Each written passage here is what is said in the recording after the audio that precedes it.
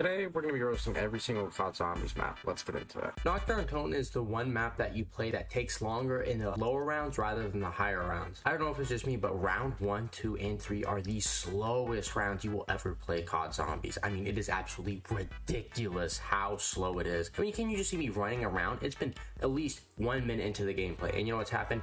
Nothing. Rock's so small, you could throw 10 nickels in it, and 8 would probably fall out off topic, but do you guys like the color green? Because I fucking love green. Speaking of the color green, we have Shi No Numa. The map is literally just green with zombies. But that that's it. Greece is the one map that everyone claims to love, but they run the same catwalk strat that goes over and over for the past 11 years. Genuinely, I don't know anybody who actually trains on this map. Point in point, it's boring. I'm gonna be honest here. The only reason why anybody plays Kino der Toten is to train around with the Thunder Gun. That's it. It's honestly kind of a boring map, and really, there's not much to do. Let's be real with ourselves here. 5 is the one map that people like for a survival map, but haven't got past round 25. With essentially came monkeys, and you know what came with monkeys? Goddamn headache. Although they counterbalance the map in terms of easiness, these pesky monkeys always seem to just steal Quick Revive or Jug, no matter what. I hate them and you do too. All Dead is a great map, but it added Deadshot Daiquiri, so that just really says enough, doesn't it? Shangri-La actually does green right, in a beautiful way. But you know what isn't beautiful like its atmosphere? The gameplay. The zombies in this are ridiculously hard, and if you've met anybody who's went past round 30 on this map, they're probably a psychopath. Oh wow, look at the colors on Moon. It looks absolutely amazing, doesn't it? Yeah, they still look terrible, don't they?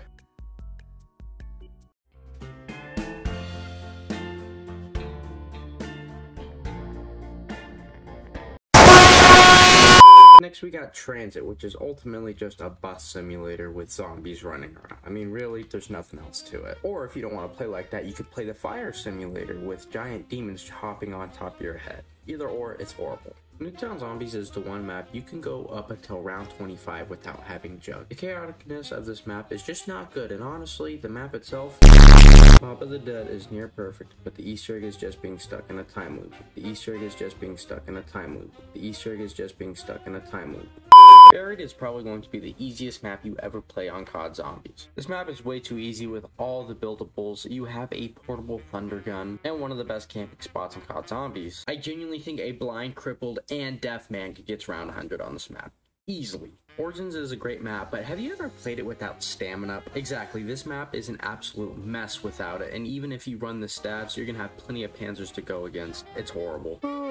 Shadows of Evil is perfect, there's no flaws. I love Der Eisendrache as much as the next guy, but oh my god, I have not played one game since 2015 where I haven't used a boat. And that's when I looked up a YouTube guide. That boat is the same as Shi No Numa, except that there's plants, a boss fight, and a main quest. There, I said it. Oh yeah, we're falling out of the sky. Oh look, that guy, he has a parachute. Oh yeah, what's his name?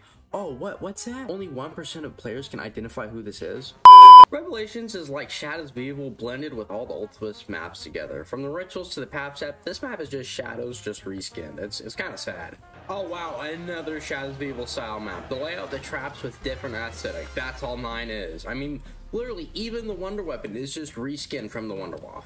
Voyage of Depression is a really bad map altogether, mainly because the layout. Like, how do you mess up the layout of the Titanic? It seems pretty simple and easy, right? Honestly, with Blood of the Dead, I don't need to say anything. It roasts itself. Dead Night is so bad that 80% of the Zombies players didn't even know it was released until videos of the Easter egg being beaten popped up.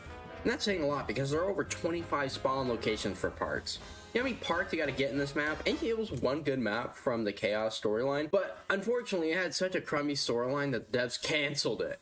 Haven't even done this with Vanguard yet. Alpha Omega is just a ray gun simulator and a blackout simulator. The only way to get people to play Todd Tone was caused by the Aether storyline ending. Other than that, not one soul cared at all. The Machine was advertised as spooky, scary, and horrific, but it's the exact opposite of that. This map was easy, fun and everything about it was good, but oh my god, it was just not marketed what it was supposed to be like. With Firebase, the devs were already so stretched out, they made the ray gun into an auto rifle. We asked five years ago, ain't nobody want that sh I don't even have the roast Mauer der Toten, but the Wonder Weapon, why can't it go past round 55, but the ray gun can? I mean, that, honestly, that makes no sense to me. Forsaken is just a teleport simulator duct taped together very badly with the needler from Halo. I mean, the map just could not get another idea from Mauer der Toten, right? I can't even remember the maps of Vanguard by this point. It's been forever, and honestly, this game just sucks my big fat monkey cock, and I will never ever play it again.